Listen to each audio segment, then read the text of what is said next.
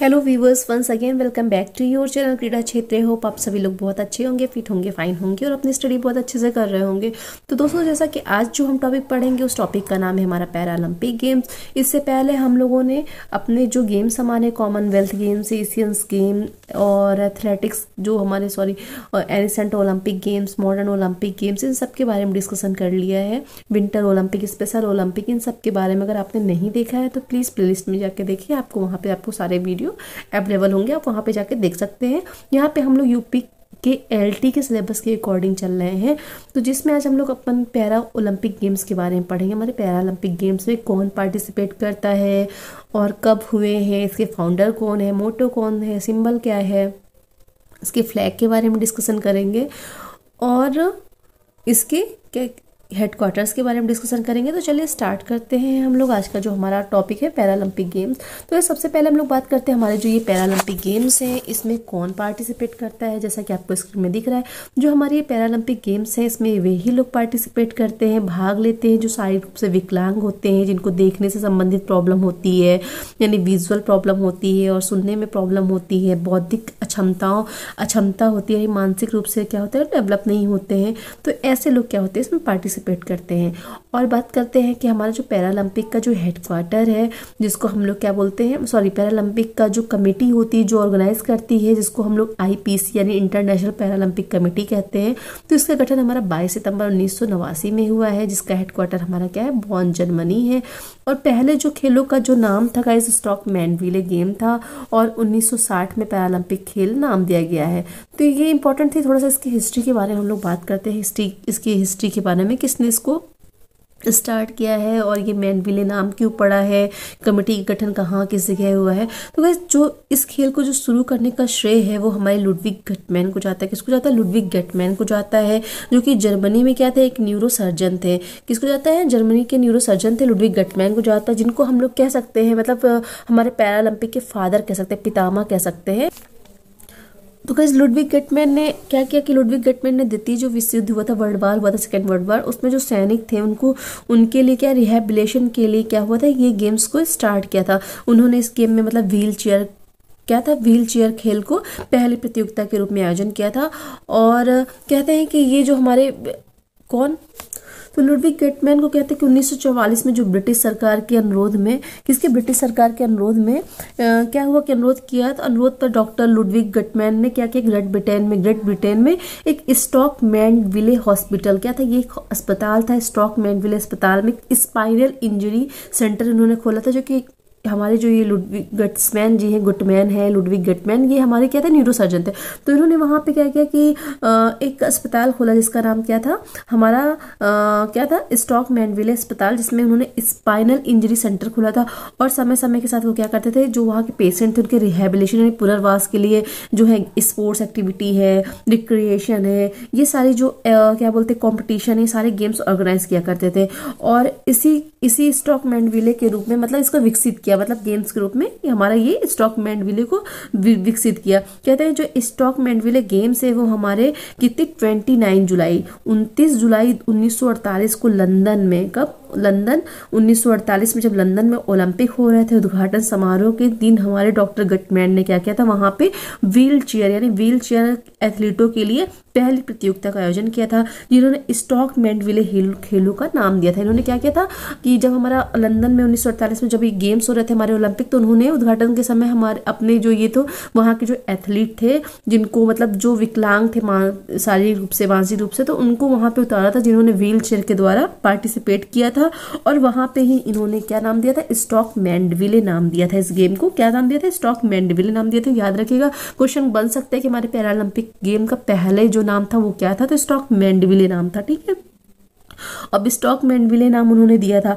कहते हैं कि जो ये पैरालंपिक था, कहते हैं कि इतिहास में ये कहते हैं कि मिल का पत्थर था। इसमें क्या हुआ था? सोलह हमारे सिक्सटीन घायल सैनिक और जो हमारी महिलाएँ थी, महिलाओं, महिलाएँ भी इसमें शामिल थी। सोलह लोग शामिल थे, जिसमें हमारे सोलह घायल सैनिक और महिलाएँ शामिल थी, जिन्होंने क्या किया था, सबसे पहले तीरंदाजी प्रतियोगिता में भाग लिया था। याद रखिएगा, तीरंदाजी प्रतियोगिता सबसे पहले हुई थी, व्हील चेयर से इन्होंने पार्टिसिपेट किया था, कब? उन्नीस सौ अड़तालीस में, जब हमारे लंदन में ओलंपिक हो रहे थे। तो गैस नाइनटीन में क्या हुआ कि उन्नीस सौ बावन में तो उन्नीस सौ बावन में ये हुआ कि डच के जो पूर्व सैनिक थे डच के तो उन्होंने क्या हुआ, ये जो हमारा पैरालंपिक मूवमेंट था, इसमें शामिल हुआ और उन्होंने इसे अंतर्राष्ट्रीय स्टॉक मैंडविले खेलों में खेलों में इसकी स्थापना की अंतर्राष्ट्रीय लेवल में। तो अगर हम बात करते पहला जो पैरालंपिक खेल था हमारा, वो कब हुआ? तो स्टॉक मैंडविले गेम्स बाद में क्या हुआ कि पैरालंपिक खेल बनकर आया। मतलब पहले तो स्टॉकमैन विले कहते थे तो फिर इसको पैरालंपिक खेल बनकर क्या हुए? आ गए। जो पहली बार हमारे 1960 में रोम, इटली में हुआ था, जिनमें क्या था? हमारे 23 देशों ने, कितने? 23 देशों के 400 एथलीटों ने क्या किया था? भाग लिया था। तब से हर चार साल में जो होते हैं, ये हमारे गेम्स होते हैं, ठीक है? हर चार साल में हमारे गेम होते हैं। तो याद रखिए, क्वेश्चन आ सकता है कि हमारा जो स्टॉकमैन विले जो नाम था गेम का, उसका जो पैरालंपिक नाम है कब पड़ा तो ये हमारा कब पड़ा नाइनटीन यानी उन्नीस सौ साठ में पैरालंपिक नाम पड़ा। कहाँ पे पड़ा? रोम में पड़ा, ठीक है? 1960 में रोम में ओलंपिक हो रहे थे, वहाँ पे बड़ा, कितने देशों ने भाग लिया था? पहले पैरालंपिक में तेईस देशों के चार सौ एथलीटों ने भाग लिया था। अब बात करते हैं हमारे 1976 में जो पैरालंपिक के इतिहास में जो पहला शीतकालीन ओलंपिक खेल था, वो हमारा कब हुआ? उन्नीस पैरालंपिक इतिहास में पहला शीतकालीन खेल हुआ था, जो कि हमारे स्वीडन में आयोजित किया गया था।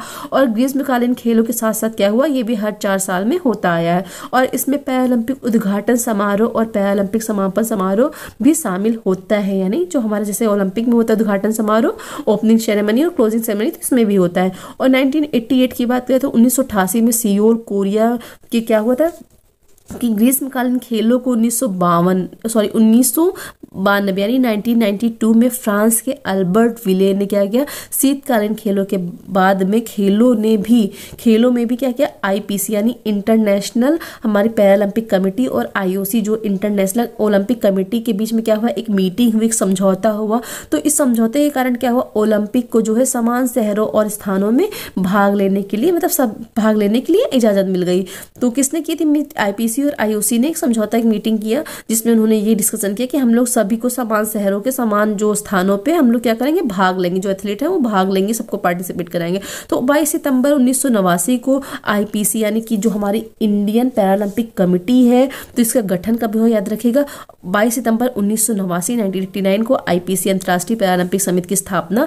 जर्मनी के डल, कहाँ पे हुई थी? डेल डॉर्फ में एक अंतर्राष्ट्रीय गैर लाभकारी संगठन के रूप में। आईपीसी की स्थापना की गई थी। तो ये इसकी थोड़ी सी हिस्ट्री है। अब बात करते हैं हमारा जो ये सिंबल क्या है, हमारे का है?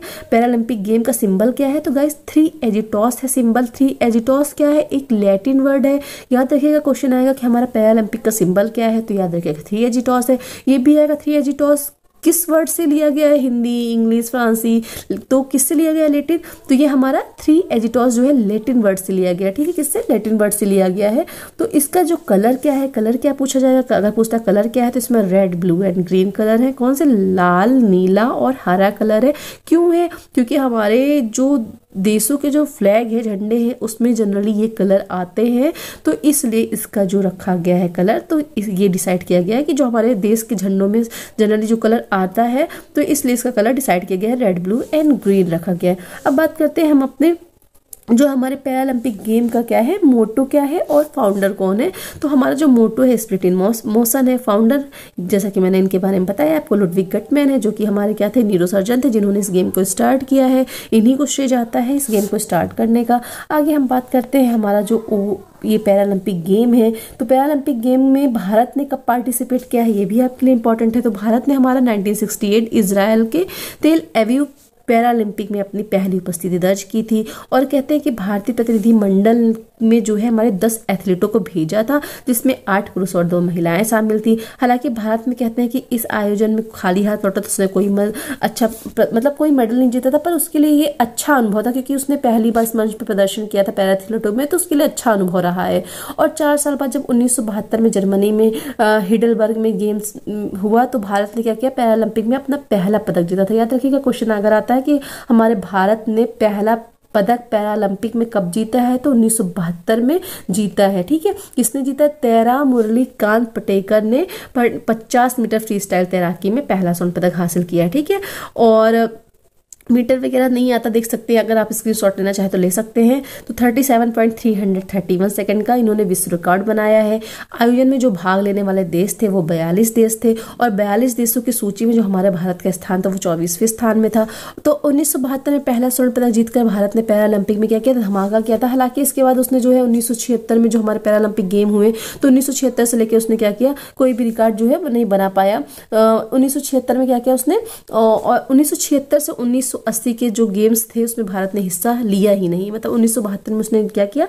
मेडल जीता। बस उसके बाद उन्नीस सौ छिहत्तर से उन्नीस सौ अस्सी तक उसने क्या किया? पार्टिसिपेट नहीं किया है। क्वेश्चन ये भी आ सकता है कि हमारे इंडिया ने पैरालंपिक में कब पार्टिसिपेट नहीं किया है डेट दे देंगे, आपको चूज़ करना होगा। तो उन्नीस सौ से उन्नीस सौ अस्सी तक उसने पार्टिसिपेट नहीं किया, उसके बाद उसने सीधे नाइनटीन में पार्टिसिपेट किया, ठीक है?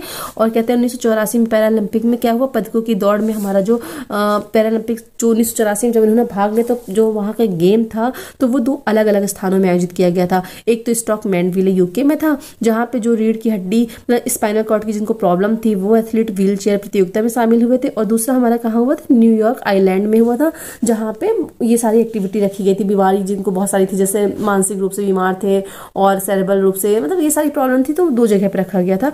तो भारत के कहते प्रतिनिधिमंडल में अभी तक जो सर्वाधिक चार पदक हासिल किया है, वो दक्षिण कोरिया के साथ संयुक्त रूप से हमारे सैंतीस, सैंतीसवें थर्टी सेवन स्थान पर कब्जा जमाया है। और कहते हैं कि संयोग से क्या हुआ था कि इस प्रतियोगिता में जोगिंदर सिंह बेदी, जो कि हमारे भारत के हैं, वो भी शामिल थे। इन्होंने देश के लिए यह उपलब्धि हासिल करने में मदद दिलाई है। तो बेदी ने क्या किया था? पुरुषों की जो शॉर्टपट में रजत पदक और फिर इन्होंने डिस्कस और जेवलिन थ्रो में कांस्य पदक अपने नाम किया। और इसी में भीमराव केसकर का भी नाम आता, जिन्होंने जेवलिन में रजत पदक पर क्या किया था अपना? हक जमाया था, कब्जा किया था। और और इसी के साथ क्या था? भारत हमारा जो इंडिया था, वो फोर्थ पोजीशन में था, फोर्थ प्लेस है कहते चौथे प्लेस में था। अब बात करते हैं उन्नीस से 2000 तक में पदक का क्या हुआ था? बिल्कुल सूखा पड़ा था, कोई पदक नहीं मिला। तो उन्नीस सौ में क्या हुआ कि अपने सर्वाधिक पदक जीतने के बाद पैरालंपिक में भारत का भाग्य क्या हुआ? पलट गया, धोखा दे गया। उसने उन्नीस सौ चौरासी में तो अच्छे पदक जीते, पर उन्नीस सौ अट्ठासी से दो हज़ार तक उसने एक भी पदक नहीं जीते। यानी कह सकते पोडियम का जो स्थान पाने के लिए बहुत मेहनत की, पर कोई स्थान नहीं आया, कोई मेडल नहीं मिला। फिर उसके बाद क्या हुआ? एथेंस में जब हमारा 2004 में जो हमारे गेम्स हुए तो भारत के लिए क्या हुआ? पदकों का जो सूखा था, जो मतलब पदक नहीं मिले थे तो वो खत्म हो गया और भारत ने यहाँ पे एक स्वर्ण और एक रजत पदक जीता और इसी के साथ उसने अपना फिफ्टी थ्री तिरपनवा स्थान वहाँ पे बनाया। सूची जो लिस्ट थी, वहाँ पे तिरपनवा स्थान बनाया। अब बात करते हैं हमारा ये 2004 में देवेंद्र झाझड़िया थे, जिन्होंने जेवलिन थ्रो में स्वर्ण पदक जीता और जबकि रजिंदर सिंह ने हमारे छप्पन किलोग्राम भार वर्ग में पावर लिफ्टिंग में इन्होंने कांस्य पदक जीता और चार साल बाद इन्होंने बीजिंग में भी भारत का हाथ खाली रहा। मतलब चार साल बाद उन्होंने कब 2004 में देवेंद्र झाझड़िया ने जेवलिन थ्रो में पदक जीता और राजिंदर सिंह ने छप्पन किलोग्राम भार वर्ग में जीता और पावर लिफ्टिंग मतलब कांस्य पदक जीता। उसके बाद क्या हुआ, चार साल बाद बीजिंग में भारत ने क्या हुआ कोई पदक नहीं जीता, खाली हाथ रहा अब बात करते हैं 2012 से 2016 पैरालंपिक में भारत का जो बेहतर प्रदर्शन था, उसने मतलब 2012 से 16 में हमारे इंडिया ने बहुत अच्छा परफॉर्मेंस किया था। तो 2012 में लंदन में भारत ने क्या किया था? भारत के एच एन गिरसा ने पुरुषों की ऊँची कूद में, यानी कहते हैं एफ़ फोर्टी फोर अब ये एफ़ फोर्टी फोर और जो ये एफ़ फोर्टी फोर इन सब का मतलब क्या है? तो कहते हैं कि जो हम, ये जो अक्षर है जो शब्द है तो प्रत्येक वर्ग के लिए क्या होता है? कोड डिसाइड होता है, जिसमें क्या करते हैं? एक अक्षर और दो अंक होते हैं, जिसमें टी या एफ़ का अर्थ क्या ट्रैक एंड फ़ील्ड का इवेंट का संकेत करता है किसका ट्रैक एंड फ़ील्ड इवेंट का संकेत करता है। तो इसमें कहते हैं कि आ, हमारे किसने 2012 में चंद गिरसा ने पुरुषों की ऊँची कूद में फोर्टी टू श्रेणी में रजत पदक प्राप्त किया और इस संस्करण में क्या था भारत एकमात्र पदक हासिल कर पाया था सिर्फ़ एक ही पदक हासिल किया था दो हज़ार के बीच में उसने एक ही क्या किया था? मेडल हासिल किया था। और 2016 में भारत ने क्या किया? रियो गेम्स में चार पदक के साथ अपना सर्वश्रेष्ठ प्रदर्शन किया था। तो 2012 में उसने एक पदक प्राप्त किया और 2016 में क्या किया? भारत ने अपने चार पदक के साथ उसने बहुत अच्छा प्रदर्शन दिया और एथलेटिक्स में मिले जो पदक थे भारतीय पैरालंपिक के लिए, पैरालंपिक को मज़बूत, यानी उनका हौसला बनाने के लिए बहुत ज़रूरी था। तो इसमें कहते हैं, मीरा एप्पन, थंगा वेलू ने क्या किया था, और देवेंद्र झाझड़िया ने क्रमशः ऊँची कूद में और जेवलिन थ्रो में एक एक स्वर्ण पदक जीता, और जबकि जो हमारी दीपा मलिक है, उन्होंने शॉर्ट पुट में रजत पदक जीता। तो इसी के साथ कहते हैं कि हमारे वरुण सिंह घाटी ने ऊँची कूद की श्रेणी में उन्होंने कांस्य पदक जीता। अब बात करते हैं अपने टोक्यो ओलंपिक के बारे में। तो भारत ने टोक्यो ओलंपिक जो हमारे दो हज़ार बीस में हुए हैं तो वहाँ पे पहले ही क्या हुआ था? पहले से ही तीरंदाजी एथलेटिक्स और निशानेबाजी की चौदह जो फोर्टीन इवेंट थे तो उसमें वो बीसवें स्थान पर अपनी जगह पक्की कर रखी थी। और विशेष रूप से कहते हैं हरविंदर सिंह और विवेक चिकारा ने पैरालंपिक गेम्स में क्या किया था? पैरालंपिक गेम के लिए क्वालिफाई करने वाले देश के पहले पुरुष तीरंदाज बने थे। ये याद रखिएगा कि क्वेश्चन आएगा पैरालंपिक में भारत के लिए पहले पुरुष तीरंदाज कौन थे क्वालिफाई करने वाले? तो हरविंदर सिंह और विवेक चिकारा जो थे पैरालंपिक गेम को क्वालिफाई करने वाले देश के पहले पुरुष तीरंदाज बने थे। और 2016 में स्वर्ण पदक विजेता मरियप्पन थंगावेलू ने क्या किया था? टोक्यो के लिए नेतृत्व करने वाले दल का क्या था? हिस्सा बने हुए थे। और भारत ने जितनी अच्छी कामयाबी अभी रियो में मिली है, आगे भी आशा करते हैं कि वो उतनी ही अच्छी क्या करें कामयाबी उसे आगे भी मिले। हम बात करते हैं, हमारा जो पैरालंपिक का फ्लैग है तो याद रखिएगा पैरालंपिक का जो फ्लैग है, उसका जो बैकग्राउंड है, वो व्हाइट कलर का है। उसमें थ्री एजिटॉस बने हुए हैं, जिनके बारे में भी मैंने बताया। तो जो जो ये फ्लैग है तो गाइज़ ये उन्नीस सौ चौरासी के बाद क्या हुआ? पैरालंपिक खेलों में फहराया गया था, ठीक है? कब? तो कहते हैं कि ये जो हमारा फ्लैग है तो उन्नीस सौ चौरासी के बाद पैरालंपिक खेलों में फहराया गया था। तब से ये गेम क्या हुआ जब ये गेम हमारे विकलांगों के लिए अंतर्राष्ट्रीय खेल न्यूयॉर्क में हुआ था तो वहाँ पे क्या हुआ था? ये फ्लैग फहराया गया था। बात करें गाइस तो हमारा जस, जो 2012 में लंदन में जो समर ओलंपिक पैरालंपिक खेलों के लिए फिर खेलों के दौरान क्या हुआ था कि हमारे एक सौ चौंसठ देशों के चार हज़ार सॉरी एक देशों के बयालीस से अधिक जो एथलीट थे, उन्होंने क्या किया था? बीस खेलों में भाग लिया था ट्वेंटी इवेंट में भाग लिया था। और कहते हैं कि जो ये ओलंपिक मतलब जो गेम है, ये जो पैरालंपिक, जो शब्द है, पैरालंपिक शब्द, लैटिन शब्द पैरा, यानी पैरा का मतलब क्या है? अगले को ओलंपिक शब्द के साथ जोड़ता है। पैरा का अर्थ क्या होता है? अगले, यानी कि उसको ओलंपिक के साथ जोड़ता है, क्योंकि क्या होता है? ये जो खेल होते हैं, समर और विंटर ओलंपिक के साथ साथ आते हैं और ये हर चार साल में बनाया जाता है। तो इसमें ये इम्पोर्टेंट था आपके लिए और इसमें इम्पोर्टेंट और ज़्यादा नहीं बनता, ज़्यादा और कुछ इम्पोर्टेंट नहीं है। इसमें तो इतना ही इम्पोर्टेंट जो फैक्ट थे, आपके लिए इम्पोर्टेंट फैक्ट थे। वो आप सभी लोग को समझ में आया होगा, देख सकते हैं आप, ये व्हील चेयर से हमारा जो इवेंट है, इस टाइप के इवेंट होते थे हमारे गेम्स में। और आगे बात कर ले कि हमारा जो नेक्स्ट जो हमारा जो गेम होगा वो बीजिंग 2022 बीजिंग में होगा। और उन्नीस सौ छिहत्तर में जैसा कि बताया आपको, उन्नीस सौ छिहत्तर में पहला विंटर ओलंपिक गेम हमारा हुआ था। और जो हमारे से पैरा ओलंपिक गेम्स है, इसका संचालन जो करती है वो हमारी अंतर्राष्ट्रीय पैरा ओलंपिक समिति यानी आईपीसी करती है। और गई रोम में पहली बार जो था हमारे अठारह देशों के 200 नौ एथलीटों ने भागीदारी की थी, लेकिन जो हमारा भारत था, उसने 1960 और 1964 में आयोजन में हिस्सा नहीं लिया था। और जो पैरालंपिक शब्द है गाइज़ वो सियोल में उन्नीस सौ अट्ठासी में आईओसी अंतर्राष्ट्रीय ओलंपिक द्वारा अनुमोदित किया गया था।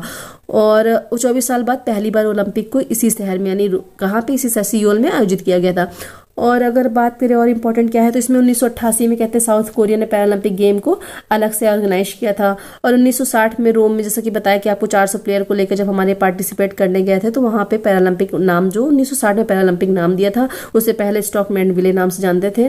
तो हमारा जो कहते हैं कि जो ऑफिशियली मतलब गेम्स जो थे, हमारे उन्नीस सौ साठ में हुए हैं पैरालंपिक गेम्स ठीक है? उससे पहले उन्नीस सौ अड़तालीस में तो स्टार्ट हुआ था तो वो स्टॉक मैंडविले नाम दिया गया था। तो जो प्रत्येक वर्ष आयोजित होता था, पर उन्नीस सौ साठ में रोम में क्या हुआ था? ऑफिशियली क्या हुआ था? स्टार्ट हुआ था।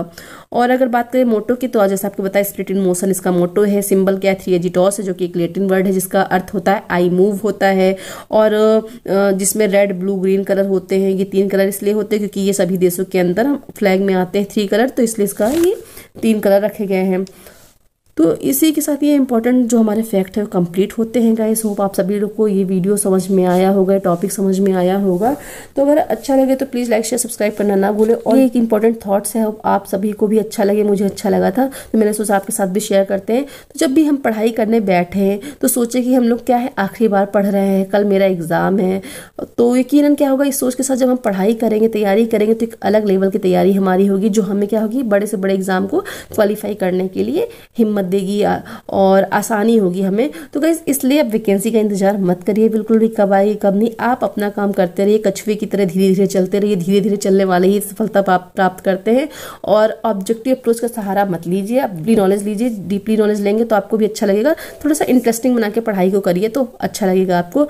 तो इसी के साथ ये हमारा जो टॉपिक कंप्लीट होता है और हमारा जो एलटी का फ़र्स्ट यूनिट है, उसमें दो टॉपिक और बचे हैं, हमारा बायोलॉजिकल फैक्टर और इंस्टीट्यूशन के बारे में डिस्कशन करना है। उसके बाद हम लोग next second top second unit में आएँगे जो कि हमारा साइकोलॉजी है। तो चलिए फिर ये वीडियो यहीं पे कंप्लीट करते हैं। तब तक के लिए आप सभी को नमस्कार। आपका दिन शुभ हो।